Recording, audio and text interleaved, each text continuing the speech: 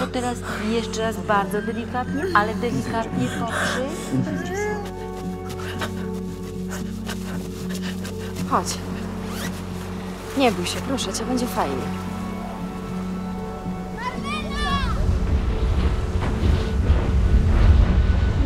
Co jest? Halo? Wiem, że to ty. Dwa lata tu leży.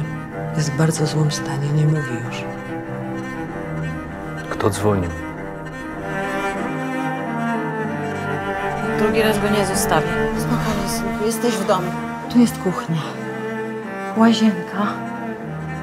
Ja nie, ja nie rozumiem, co się z nim dzieje. No syn pani, ile ma lat? 41. Prawie tyle, co pani mąż?